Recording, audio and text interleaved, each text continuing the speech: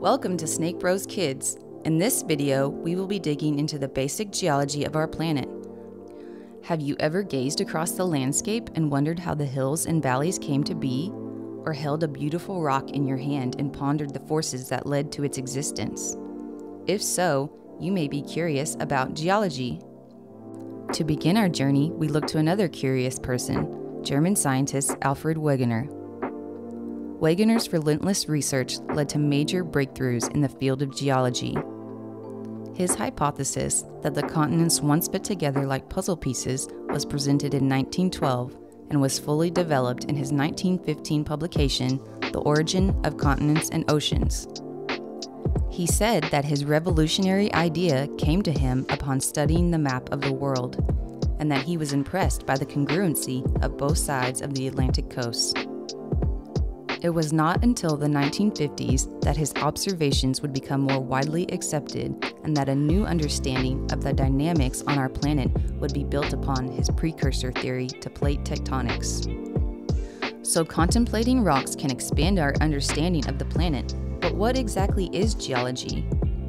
Geology is the study of the earth, with geo coming from the Greek root for land, earth, or soil, Geologists are concerned with the rocks of which the Earth is composed and the processes by which they change over time.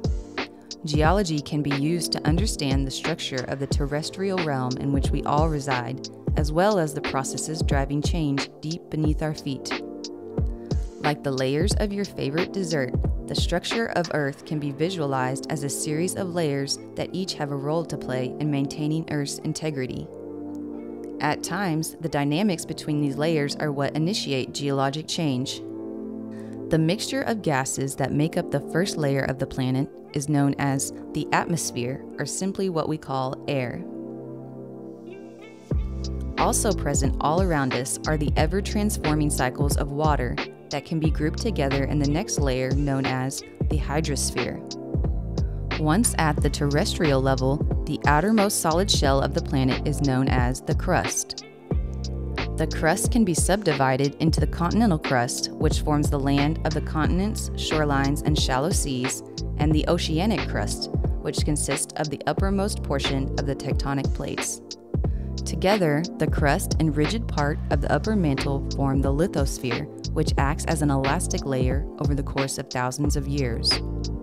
At the seams of tectonic plates, new crust is continually being created by magma pushing up from the mantle material below. The plates gradually push away from each other by molten hot crystal injections that are then chemically modified by the cooling of the seawater.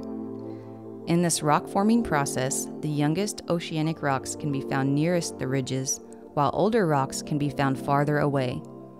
Also, in this layer is a mechanism for recycling rock as instabilities in weight and temperature lead to subduction zones where one plate sinks below the other. As we continue descending, the molten crystal involved in crust building can be found in the next layer known as the asthenosphere. The asthenosphere consists of melting rock, making it relatively weak compared to the more rigid upper mantle. This ductile layer contains the most important source of magma for rock creation and tectonic movement. An important transition zone exists next, where rocks do not melt or disintegrate but tend to linger and become more dense. The most intriguing characteristic of this transition zone is its abundant storage of water. As much water exists locked up in crystals in this zone as does exist in all the oceans.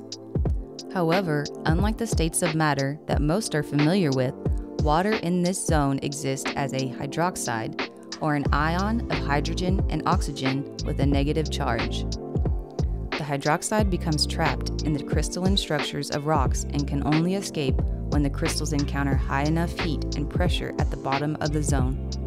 The lower mantle contains the bulk of Earth's volume, this high pressure zone is the prime location for molecularly transforming iron bearing minerals. The main constituents of the lower mantle are polymorphic rocks, meaning that they are in a liminal stage on their way to having different crystalline structures and exist more as hosts for iron. These rocks are mostly unstable on Earth's surface, except as rare inclusions in natural diamonds and meteorites. At the center of the Earth, we find the core, which can be divided into a liquid outer core and a solid inner core.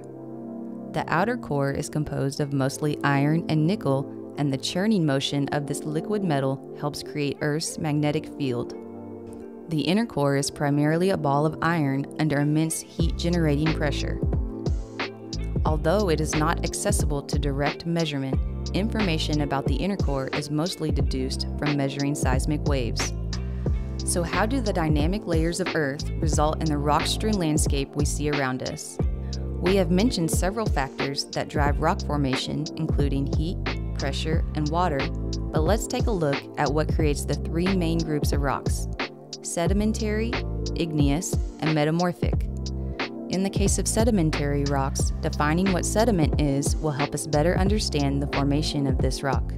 Sediments are mineral grains, organic matter, or chemical precipitates that are transported through the natural processes of weathering and erosion and then settle in a new location. Sediments are most often transported by water, but wind and glaciers can also contribute. If many layers of sediment accumulate or a large deposition occurs, the material has the potential to begin compacting and cementing, taking on a new crystalline structure altogether. From sandstone, limestone, gypsum, chert, coal, and many more, the majority of our landscape is formed by a veneer of sediments that have fused together. Important natural resources such as fossil fuels, drinking water, salt, and valuable ores can be found in sedimentary formations. Igneous rock is formed by the cooling and solidification of molten material.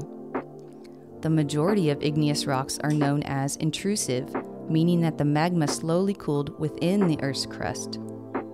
The pre existing rock surrounding the intrusion acts as an insulator, allowing the rock to form its characteristic coarse grains during the slow cooling process. Batholiths are a recognizable form of an igneous intrusion, and granite and diorite are two common types of intrusive igneous rock. Extrusive igneous rock undergoes its cooling process much more rapidly above the Earth's surface. The magma that is forced up through the Earth's surface quickly solidifies, lending itself to the formation of the fine grains found in rocks such as andesite and basalt. Unique shapes can be formed by the cooling and contracting of these rocks, such as in the case of polygonal basalt columns at the Giant's Causeway in Northern Ireland. In some cases, the molten rock cools so quickly that atoms are unable to arrange themselves in a crystalline structure, resulting in volcanic glass such as obsidian.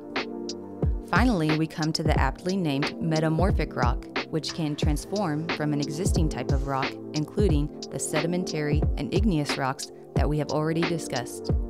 In the transformation process, the original rock, known as the protolith, is subject to profound heat and pressure. Hot fluids circulating through pore spaces can dissolve existing minerals and precipitate others, while crystals can resize and reorganize, resulting in a new texture and composition.